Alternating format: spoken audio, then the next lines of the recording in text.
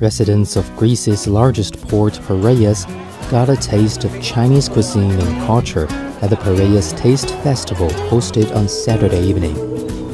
At the festival organized by the municipality of Piraeus, local residents were welcomed to the Chinese corner to share Chinese delicacies and a glass of baijiu.